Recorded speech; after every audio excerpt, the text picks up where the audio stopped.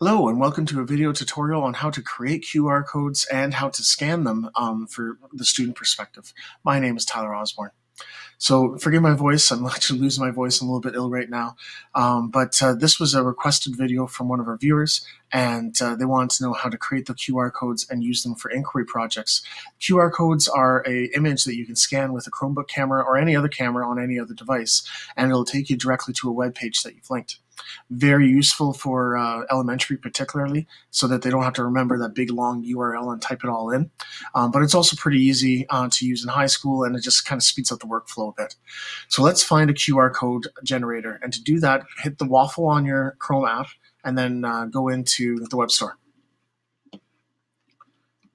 And all you have to do is start typing qr code It'll bring up a bunch of uh, different ways that you can do it. Now, I'm going to recommend the extensions over the apps. The apps are standalone and they don't necessarily work on every single device. So you might not find it on an iOS or an Android device, for example, whereas the extensions should work either way. So um, if you go into the extensions, there's three different extensions that you see. I've already installed this top one here. It's pretty easy to use, so I'm going to recommend it. It's the QR code extension by Manuel Braun. So hit the Add to Chrome button Mine's not there because I've already added it.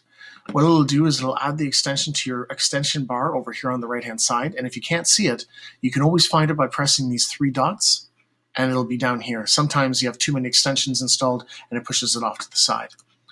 So in order to create a QR code, all you have to do is go to the web page that you want um, students to be able to see. So this is the web page that I want them to be able to see. So I'm going to um, then navigate to it, then press the button, for the uh, extension, and this is the QR code that they're going to be using. To save it, press Edit this code, and then press the Save button and give it a name. So I might call this 121 cent. You can save it as any of these file types. I recommend the PNG. It's just really versatile and you can use it for all kinds of different things. And then press Save. And what it'll do is it'll download it onto your computer. So if you click on it, it'll actually give you the code. Oh, so this is my son actually from last year. Um, we went and saw Santa Claus. But anyways, moving on to the code. There's your PNG file right there, this image, and you're actually able to put this into any docs or uh, documents that you're trying to generate with students. So you have a saved copy of that QR code, and when they scan it with their computer, it'll automatically take them to this URL right there. Now to scan a code, let's take a look at that. Let's say they're in the middle of an inquiry project and you want them to scan a code. If they have this extension installed too, they can press the button right here and then press the scan a QR code button. They need to give access to the webcam, so they press allow.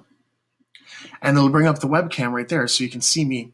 And uh, they just hold the picture up. So if you've given them a document with the QR code, they hold it up to it and it'll scan the QR code and take them right to that web page.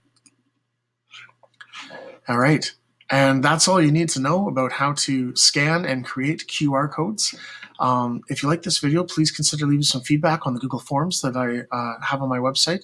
And thanks for watching.